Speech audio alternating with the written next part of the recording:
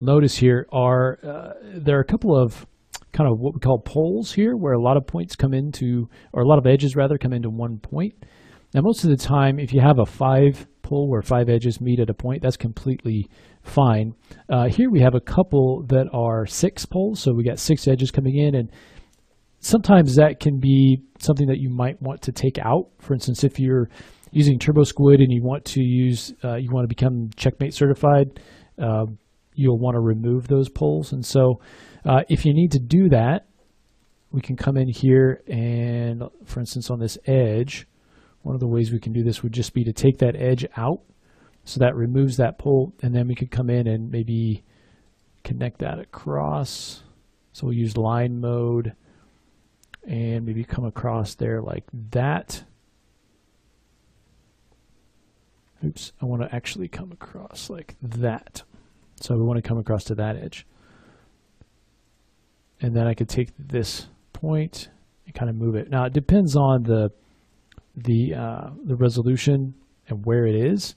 So if it's going to cause you problems with deformation, for instance, you have edges in the wrong spots, then what you can do is you, you can add more resolution to the arm and you could remove that by extending edges going this way. Okay, but it's up to you. Let's uh, take this piece. There's another one on the bottom if you want to get rid of that too, right there. Uh, but let's go ahead and move on by taking this hand. And I just want to put this in kind of position here. So let's rotate it around. Obviously, we need to scale it down. S to a little bit closer to that. I'm just going to switch over so I can just use world mode to move this around here. And then again, I can kind of rotate this, get it in a rough position here.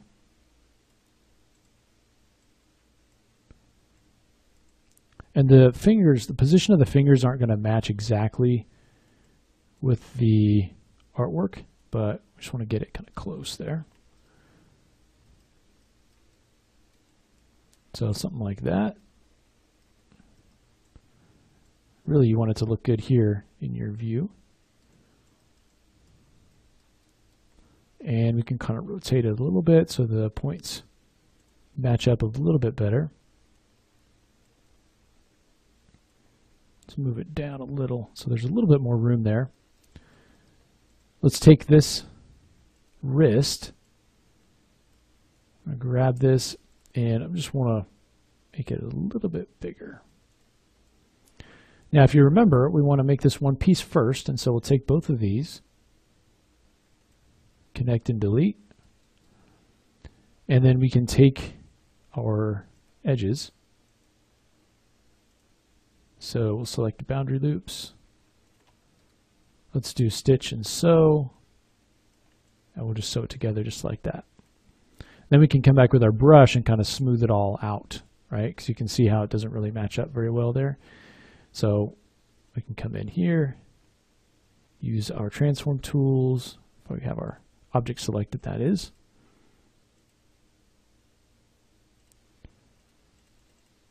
And just kind of smooth it out a little bit. And you can use, you know, push and pull points as well to kind of get it exactly the way that you want.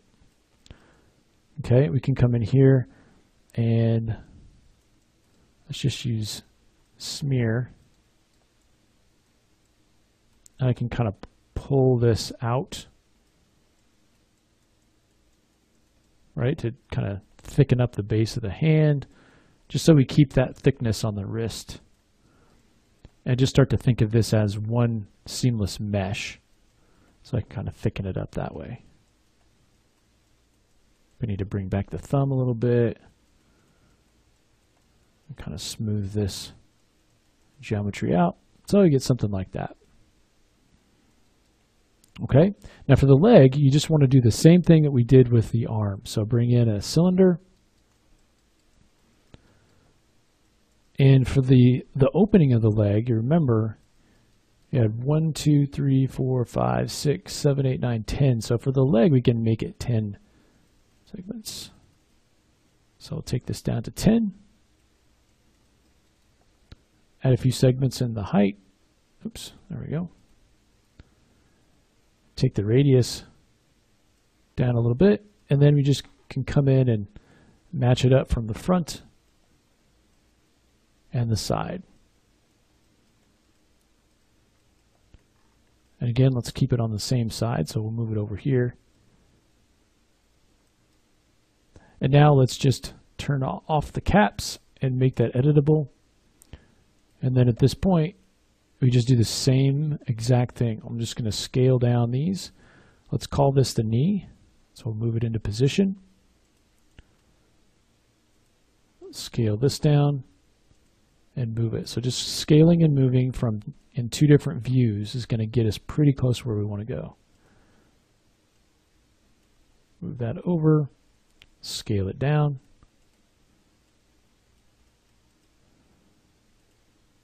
We'll do the same thing up here. Move this over a little bit. Now as we get closer to the top, we want to start to kind of rotate this around a little bit. Kind of like that. So I get that close and then come in from the side and you can see oh, I can bring the knee forward a little bit. Let's actually bring this back get the shape of the leg. And we'll bring this forward. All right, so we want to get to a state that is similar to that. All right, so in the next lesson, let's take a look at adding the foot to this basic, the, uh, the leg here and add a, just a little bit more resolution in here. So I grab the right object and I'm just going to use the knife with the loop. I drop a loop in there right around the calf and then also a couple right around the knee. And then let's take, let's actually just add one right here. And then I'm just going to take these and kind of smooth them out a little bit. So kind of bring that in and scale it down just as we were doing before. And I'll kind of move that back. Let's take this back a little bit. And then on this one, where the cap is, I'm just going to widen that up a little and still move it back, just so we get a little bit of that indication of the cap back here. And again, I'm making this a little bit larger than the drawing because it is going to be smoothed. Okay, and then you can take a look at it here as well. Kind of move it over just a little bit.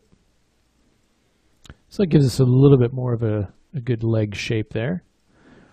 Now, I want to build the foot off of here, but the leg, I've built it so that it is angled just a little bit. So I'm going to call this line the front of the leg going straight down the knee. And so I want the foot to come straight out this way. So it's going to come out at a little bit of an angle. So to start, let's uh, take the end of this. And now looking at this, I think this is going to be our front line. So let's go to mesh. Um, and then I want to make sure I select the leg. Go to polygons. Um, and let's go to mesh, create, close polygon hole. We'll close that up. Now I'm going to take the knife and draw a straight line from front to back. And I want to make sure I've got the knife selected. And I'll choose line mode turn off single. There we go. So bring it across like that. Um, and then we can also come in here and go across. And you can go all the way across. You don't have to stop in the middle. So that allows us to create those bottom faces here, which are connected. Let's take those bottom faces and do an extrude. So I'm going to kind of pull this down a bit. And now I want to select these polygons right here.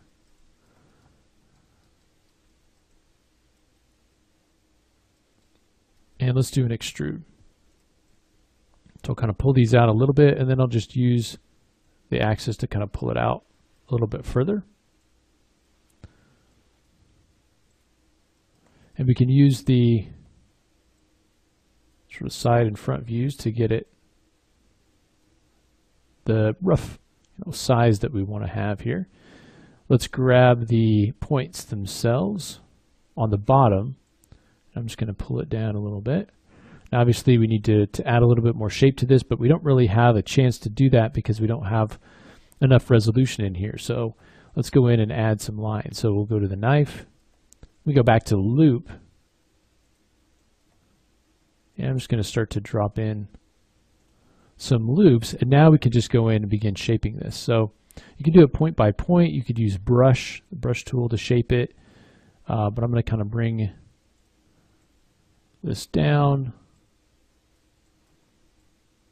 You can grab kind of all these points and you can see kind of where it needs to be here. So you can kind of real roughly bring that down a little bit, grab the maybe the toes, keeping in mind this is going to be smoothed out. And then I want to add a little bit of that foot shape. So I'll come here on kind of the sides and keep in mind this is the outer part of the foot.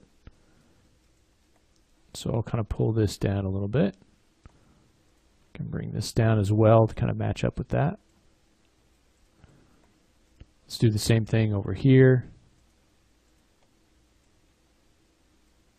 And now it's just kind of a matter of, of shaping this foot. I want to leave a little bit more of the bridge of the foot, or the arch rather, up at the top.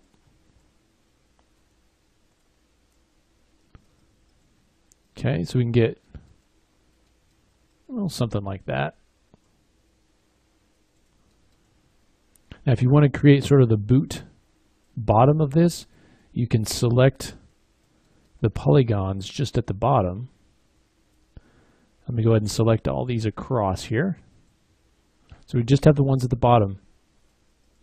Let's do another extrude. We'll kind of pull that down a little bit. And to create the seam for the sole, pretty simple to do. We can go ahead and just grab the magnet and let's just add a couple loops right over here. And then I'll go to edge, go to a loop selection, turn off boundary loop. and then we'll kind of scale this in a little bit.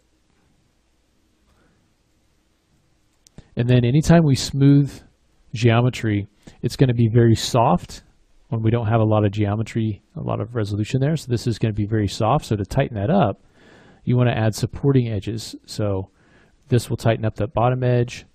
This will tighten up these edges up here. Okay. Now we also want to start to connect this up. So let's take both of these and connect them. And then we can just come in and use our stitch. So let me go select loop. And we want to select the two boundaries. And then I'll just stitch this together. And I think we want to go right here. And then you can just use your knife to add an edge in there and kind of soften things up a little bit. Okay, so you spend a little bit more time tweaking the shape of the foot. It could probably be a little bit wider, so you might want to widen it out a little bit. Uh, but the next thing that we'll do is go ahead and start to block in. Um, you might think that you'd want to start with a sphere, and you could do that, but I'm going to actually start with a cube with the idea that I'm going to be smoothing it in the end. It just gives me a little bit more control over the shape and, and the, the topology of it. It's a little bit simpler to work with. So I'm going to start with a cube. Let's bring it up into position. I'm just going to use the handles to size it appropriately. So come in here from the side, come in here from the front. And then we need to add a little bit of resolution to this to begin to shape it. So in the segments, let's add a few in the X, maybe four. I want to make sure that there's one running right down the center. On the in the Y, I'm going to increase those. We'll add a few more of those because it's covering more distance. Uh, we can add more as we go along, but we just want some to get started with. And then in the Z, let's add a few going in this direction. So add three there. I think three is going to be a good starting point. I don't want to add too many because then it's going to be really hard to get away from the squared off shape. Uh, but if we add just a few, that allows us to, to be able to work with just the, the polygons that are here. So let's go ahead and make this editable. And then just to simplify things a little bit, let me go ahead and delete half of this. So go ahead and grab half of those polygons, delete them, and then I'm going to go to the points and optimize those. And then we can start to manipulate the shape of this. So we can start by going to one of the views here. And I can come in and start to move some of these points around. And I'll kind of move that down a little bit.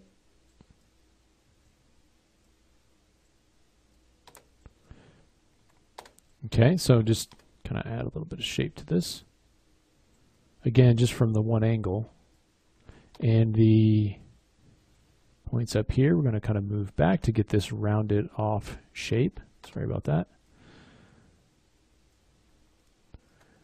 And then come down here.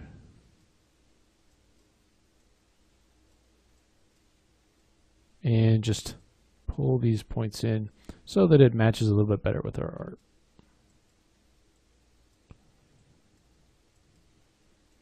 Here we'll kind of pull this up a bit. Now we need to do the same thing from the side. Don't worry about the eyes just yet.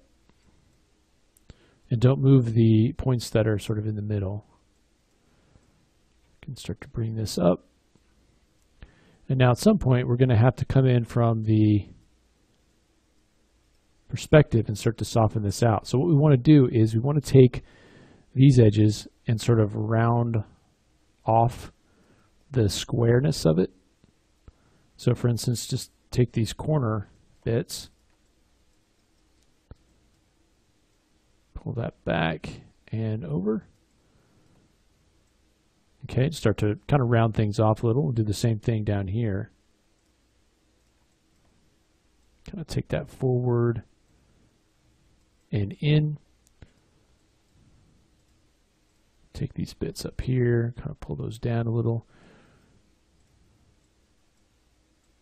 So you can see we can really start to to round this off, but you want to take the time to do that because otherwise it'll be it'll kind of stay squared off and you'll get kind of a square shaped head. And so we want to make sure to grab these points and just make sure to round off basically all the corners of it. And down here where the kind of bottom of the neck, we can also kind of bring that up.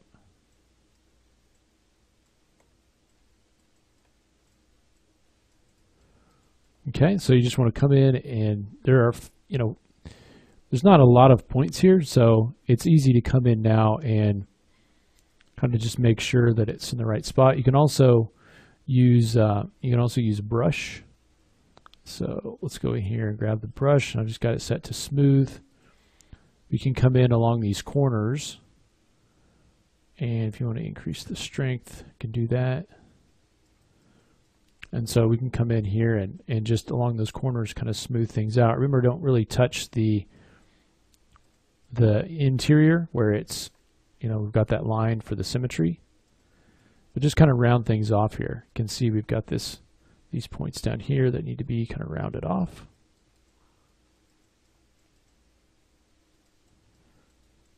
Okay, so we get something like that. So let's get to that point. Okay, and if you want to use, you know, if you want to come in here with instead smear and come in and sort of move things around, if you feel like that'll help a little bit, you can do that too. Kind of come in from the side.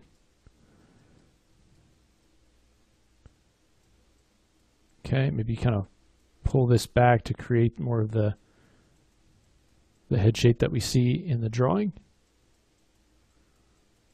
So get something like that. Okay. Now we've got the rough overall shape, but we don't really have any of the uh, topology built in to create things like the mouth or the eyes and things like that. So uh, let's go ahead and begin to manipulate the actual flow of edges right place to be able to add things like the mouth and, and up the, around the eyes and stuff. So let's go into the, the side view here, and we can see his mouth sort of extends out. He's got this kind of overbite. It's right up here. Well, we need some edges there to start to define that a little bit more. So uh, we can either use this edge or we can add another edge. Let's start by, with kind of what we have and then add edges from there. So I'm just going to select these points. I'm just going to move them up into kind of the right spot here. And here we can kind of just move these to, so it's, you know, kind of smoothed off there as far as the placement of it goes. Let's go to the knife and I'm just going to add a loop right in here. Be careful when you add these loops. You want to go all the way to the end to add it in. And then we can come in and we'll just pull this out a little bit. Kind of use that to better define the shape of the head.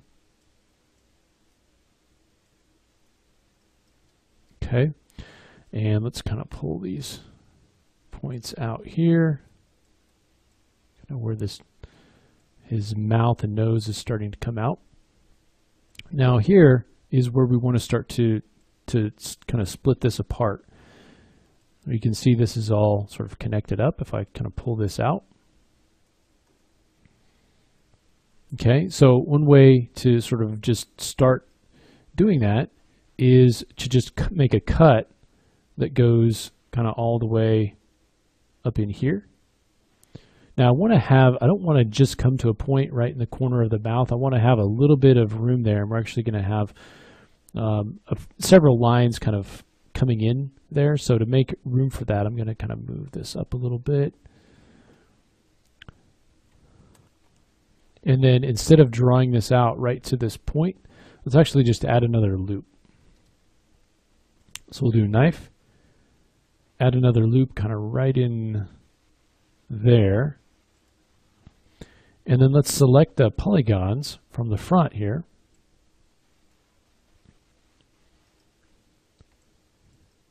So I'm going to select just like that guy. And let's select this one. And I think one more. And we'll go ahead and delete those. And then we can come in from the side and get that overbite start to come in and take these points here and pull these back into the head a little bit more.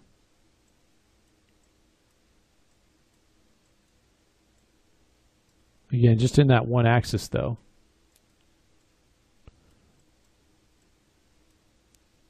And then we can kind of take some of these other points, move them up. Kind of move this one back a little bit.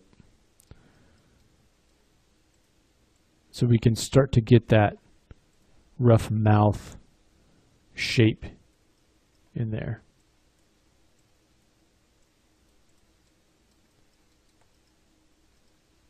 So you can see we get something, it's pretty rough, but something like that. Now around the eyes, we want to have kind of a loop structure, so we could do like a blink if we wanted to. And so I want to, to come in and create a little bit more resolution right in here. So let's select this edge loop.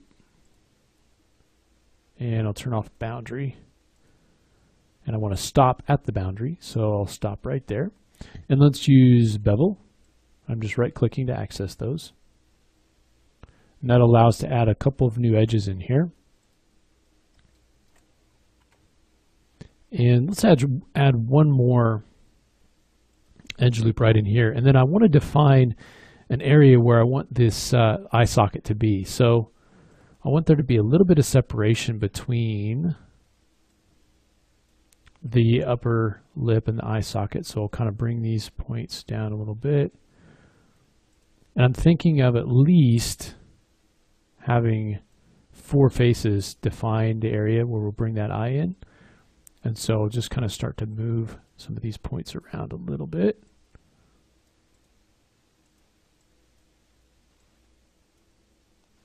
To create kind of a circular shape, sort of right in there. Okay, now you can see it sort of beginning to form right there. Now some of these are getting sort of off so we can pull those out in that particular axis if we want to, but we'll be able to detail these a little bit more once we've got the eye actually built in, but you can kind of see where we're thinking about putting it. So from the side, it's kind of right there, right in here.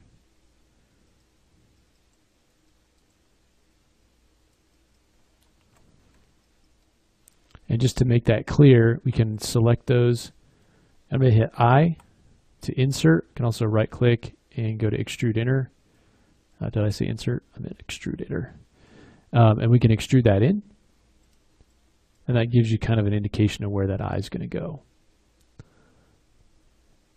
Now, if we want to see this kind of unfolding on the other side as we work, we can go ahead and add a symmetry object. And then all we have to do is drag the piece of geometry underneath symmetry. And you can get a better idea. So you can see he's really coming to a point there. So this gives us a, a good idea of, okay, I need to come in and grab these points and kind of move them forward a little bit. So it lets you kind of see. And then later on, you'll be able to bake that down into real geometry. But here, it just allows us to see both sides at once. If you're just starting out working symmetrically, then this may be a better way to do it. After a while, though, you'll start to understand, you know, how things are going to look. But oftentimes, they'll be a little bit too pointy when you uh, when you do that. So it's always a good idea to kind of check. Okay, I also want to maintain this sort of underbite. So I'm going to kind of take this lower lip and jaw inside of this upper one a little bit more. All right. So it's starting to look like something anyway. So let's get it to this point where we've got the mouth sort of cut out, and then we also have an area for the eye defined. And in the next lesson, let's uh, symmetry inside here. Okay, we want to have this sort of closed off. And so we have the symmetry generator here, which is creating the other side of the geometry. So um, let's actually this down. Now you can see on the back here as I'm checking around that some of these points are off. So to fix that, all we have to do is come in and select that cube. Let's select all the points that should be in the middle. Okay, so all, those are all the points in the middle of that, uh, that center line. And let's right click and go to set point value. And we're going to set the value in the X. So we'll say set, and let's set it to a value of zero. And that's just going to snap all those points to the midline. Now if we turn that back on, you can see that looks a lot better. Okay, so the reason that I'm going to bake this down is just easier to deal with this as one whole border edge. And so let's take this symmetry and let's just make it editable. And that gives us a cube right here that is both sides. So now we've taken out the symmetry and it's one object. So now what we can do is select our, our loop selection. And I want to select a boundary loop. And so we'll select the inside of the mouth here. Now let's right click and go to extrude. And let's extrude this out a little bit. And then I want to change the edge angle. And so I'm going to take this down to about minus 90 or so. And that'll extrude it sort of in there. And then we can change the offset a little bit more. And that kind of gives us a little bit of the sort of thickness of the lip there. Okay, let's do the same thing again. Kind of pull this in, and this time and kind of change that value down a little bit more, and we can start to just kind of pull this back. And let's also kind of scale it in a little bit. So we start to get this geometry kind of coming back and inside. Let's also sort of scale it in. And as it comes in, it can start to get kind of smaller. We're not going to be adding a bunch of detail here inside of the mouth, but we just want it to be sort of closed off. Okay. Now, once we get this sort of started, then I can come in again and get rid of half of this. So let me just select this half delete it, and again, I'll optimize the points by getting rid of those, or get rid of them by optimizing rather. And so you can see here is where we have our the inside of our mouth starting to form. And then now that we've got the other half deleted, it gives us a little bit more freedom in where these points are. So we can come in and start to kind of move these individual points up and out of the way. Now I probably want to come in and use the knife with loop on and then just kind of create a little bit more of, of a kind of a lip there. And we can do the same thing here. Kind of move this up just a little.